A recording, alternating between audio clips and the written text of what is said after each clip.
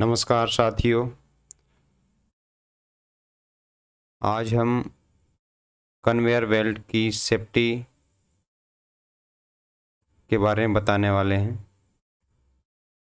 कि वहाँ क्या क्या सेफ्टी इक्विपमेंट रहते हैं और हमको वहाँ पर काम करते समय क्या क्या सावधानियाँ रखना चाहिए। तो सबसे पहले जो मटेरियल हैंडलिंग होता है, वो दो टाइप से होता है। एक तो होता है मैनुअल जो man power man women hand से या ट्रॉली से करते हैं। दूसरा होता है मैकेनिकली जिसमें कन्वेयर हाइड्रा या क्रेन होती है। तो यहाँ पर हम कन्वेयर के बारे में बात करने वाले हैं।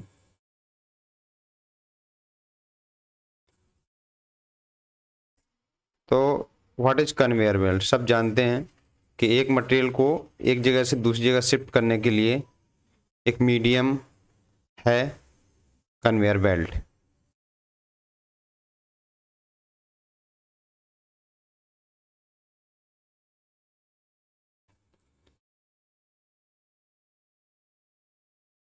कन्वेयर बेल्ट में जो इक्विपमेंट होते हैं, दो टाइप्स होते हैं। एक तो होता है सेफ्टी गार्ड सेफ्टी गार्ड के बारे में हम बताएँगे यहाँ पे।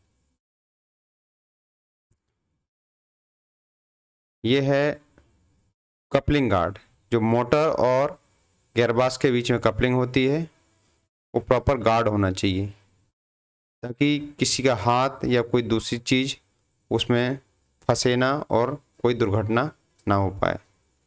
दूसरा होता है हेड पुली गार्ड।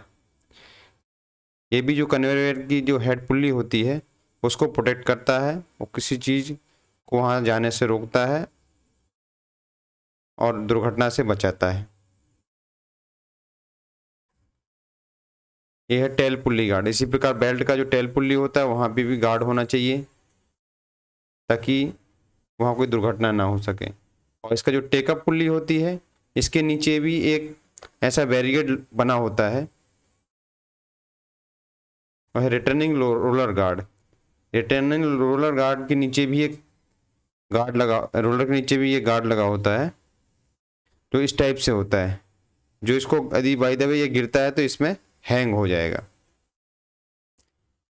नेक्स्ट है साइड गार्ड दोनों कन्वेयर के बाकवे के दोनों तरफ़ इस साइड गार्ड्स लगे होना चाहिए।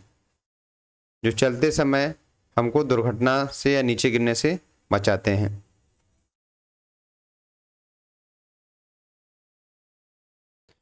नेक्स्ट है सेफ्टी इलेक्ट्रिकल इक्विपमेंट जो कि लगे होते हैं। यहाँ पर देख रहे हैं, ये पुल गार्ड है।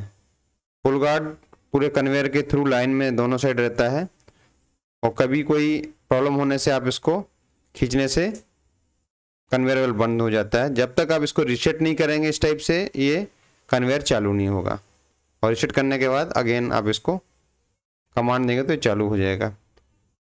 नेक्स्ट है बेल्ट स्वे तो बेल्ट को अपने फिक्स वे से इधर उधर जाने पर बेल्ट को रोक देता है, जिससे बेल्ट क्षतिग्रस्त होने से बचता है। और यह है जेड एस एस। यदि बेल्ट की जो हेड पुली है और मोटर है, वो चल रही है। आपको इंडिकेशन मिल रहा है, लेकिन कन्वेयर नहीं घूम रहा है। तो उस कंडीशन में जेड जो है, इसकी टेल पुली में लगा होता है और तुरंत मोटर को बंद कर देता है और आपको इन्फॉर्मेशन अपने कंट्रोल में मिल जाती है कि कन्वेयर की मोटर तो चल रही है, लेकिन बेल्ट नहीं घूम रहा है। इसके कारण मोटर इंटरलॉक रहती है और वो बंद हो जाती है। तो ये इलेक्ट्रिकली सेफ्टी है।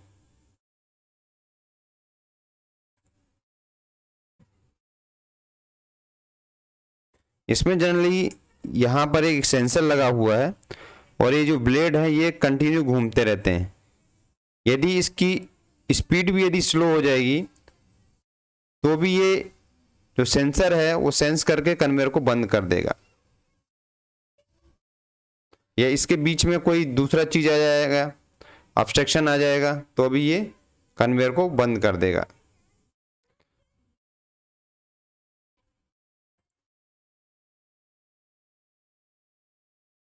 अब है कन्वेयर ऑपरेशनल सेफ्टी कन्वेयर के पास काम करते समय क्या क्या सेफ्टी रखना चाहिए? ये उसके बारे में बताएँगे। बेल्ट वॉकवे पर चलते समय फ़ोन पर बात नहीं करना चाहिए। आपका कंसंट्रेशन बेल्ट पर ही होना चाहिए। और इसी प्रकार ये कोई लूज कपड़ा, तोलिया, गमछा आदि डालकर भी कन्वेयर के पास काम नहीं करना चाहिए।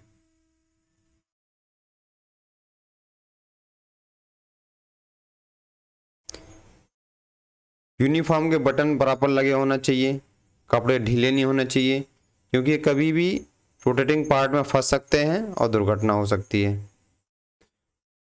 इसी प्रकार इसका जो रिटर्न रोलर है, बेल्ट का, इसके नीचे भी हमको नहीं खड़े होना चाहिए सीध में, क्योंकि ये कभी भी यदि फॉल होगा तो उससे भी दुर्घटना हो सकती है।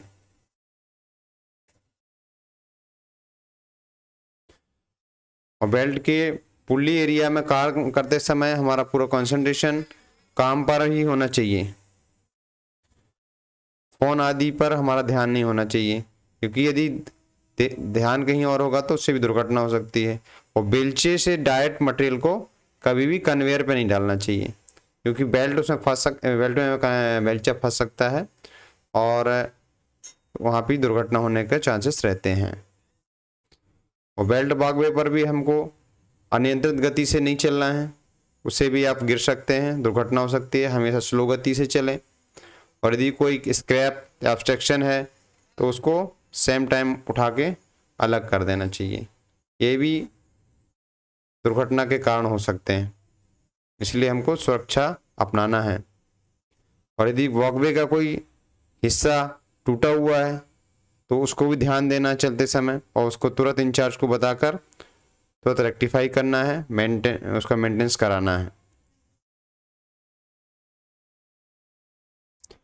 और प्रत्येक बेल्ट की इमरजेंसी बटन या आपातकालीन बटन के बारे में हमको जानकारी होना चाहिए। यदि हम वहाँ काम कर रहे हैं तो प्रॉपर दबी होना चाहिए। ये काम करने से पहले वहाँ पर इंश्योर करना है।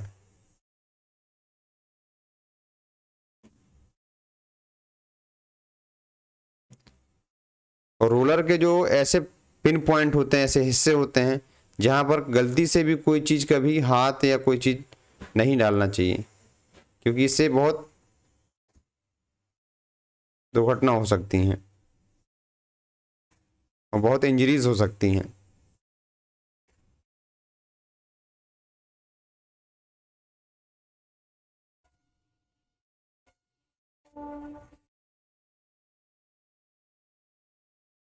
ये रूलर है यहाँ पे और बेल्ट के जो सेक्यू सेफ्टी इक्विपमेंट हैं, यदि कोई क्षतिग्रस्त है, जैसे यहाँ पर देख रहे हैं आप पुल गार्ड का वायर टूटा हुआ है जो यहाँ तक होना चाहिए था।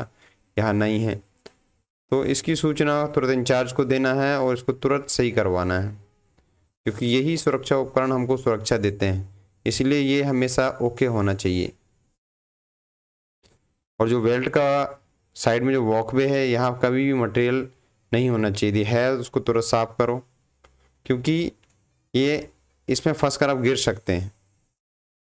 और वॉकवे में कोई अवरोध भी नहीं होना चाहिए। जैसे यहाँ देख रहे हैं, ये बॉक्स लगा हुआ है। आप चलते समय इसमें भी आपका पैर फंस सकता है। तो इसको अपने इंचार्ज से बात करके इसको हटवाना चाहिए और कोई अवरोध नहीं होना चाहिए।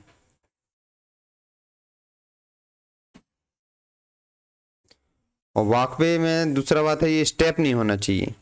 जैसे आप देख रहे हैं, ये हाइट है, फिर स्टेप बनाया, फिर डाउन में है। ये भी आपको चलते समय आपको कि बैलेंस को बिगाड़ सकता है और आप इसमें फंस के भी गिर सकते हैं। इसलिए इस स्टेप ऐसा कोई स्टेप है तो उसको हटवा देना चाहिए वहाँ से और एक स्लोप बना के या इसको ऊपर करके इसको लेवल में लेके आना चाहिए।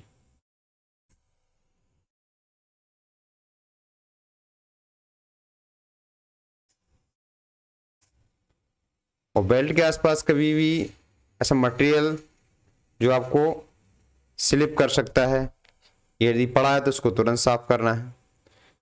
क्योंकि आप देख रहे हैं, राउंड शेप में है और आपका पैर इसमें स्लिप हो सकता है और आप बेल्ट के पास गिर सकते हैं, आपका हाथ वगैरह भी उसमें फंस सकता है। तो ऐसी कंडीशन में तुरंत सफ़ाई करवाना है उसको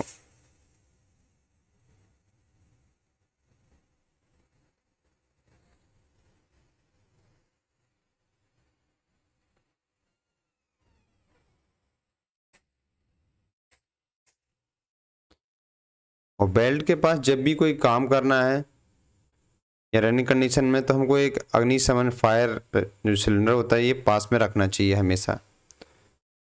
जो हमको फायर से प्रोटेक्शन देगा। और कन्वेयर के आसपास कभी भी ज्वलनशील पदार्थ नहीं रखना चाहिए। क्योंकि आग को ये ज्वलनशील पदार्थ बढ़ा सकते हैं। एक थ्रू वे सुरक्षा के लिए है वेल्ट के नीचे से निकलने के लिए ऐसा बनाते हैं। ये सेफ्टी टिप्स हैं। कभी भी कन्वेयर के ऊपर से चल के उसको क्रॉस नहीं करना चाहिए। कई लोग सोचते हैं बेल्ट तो बंद है, हम इसके ऊपर से क्रॉस कर सकते हैं, बहुत ही डेंजरस है। हेड पुल्ली के पास कभी भी स्पीड गति से या अनियंत्रित गति से नहीं चलना चाहिए, ताकि आप अनबैलेंस हो जाए, आपका हाथ भी उसके अंदर जा सकता है। उसी के लिए हम गार्ड प्रोवाइड करते हैं। गार्ड जो होते हैं head pulley tail pulley guard जो होते हैं, हमको ऐसी दुर्घटनाओं से बचाते हैं। और बेल्ट के ऊपर काम करते समय उसका पावर हमेशा ऑफ़ होना चाहिए, ताकि कोई ऑन ना कर सके उसको। तो ये सेफ्टी टिप्स हैं।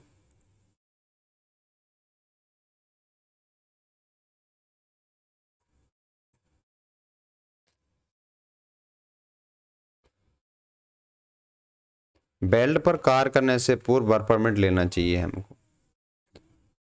ताकि इलेक्ट्रिकल और मैकेनिकल दोनों डिपार्ट से वर्क परमिट लेने से सबको जानकारी रहती है और उसका पावर ऑफ़ रहता है। सबको मालूम रहता है कि उस पर वर्क चल रहा है। वर्क समाप्त होने के बाद बेल्ट चालू करने से पूर्व हमको सायरन बजाना चाहिए, ताकि आदमी जो है वहाँ काम कर अलर्ट हो जाएँ और जानकारी मिल जाएगी कि बेल्ट कन्वेयर चालू होने वाला है। बेल्ट को क्रॉस करने के लिए उसके ऊपर से कभी भी ना जाएँ, ये बहुत ही खतरनाक है, जैसे मैंने बताया अभी। बेल्ट पर या उसके आसपास कार करने से पूर्व उसके सुरक्षा उपकरणों की ठीक से जाँच करें कि वो सही सही कंडीशन में है कि नहीं। मैंने अभी जो गार्ड्स बताए और इलेक्ट्रिकल इक्विपमेंट बताए, उनको चेक करना है वो सही कंडीशन में है कि नहीं। बेल्ट पर कार करने से पूरे सुनिश्चित करें कि उसका पावर ऑफ़ है कि नहीं, या नहीं है। इसका इमरजेंसी बटन दबा हुआ है नहीं? जो इमरजेंसी जैसे मैंने बताया कि इमरजेंसी की जानकारी होना चाहिए, वो दबा है कि नहीं? और कंसर्न डिपार्टमेंट से ये क्लियर होना चाहिए इलेक्ट्रिकल से कि इसका पावर ऑफ़ हो चुका है। तो ये कंफर्म करने के बाद ही हमको कन्वेयर के ऊपर काम करना है।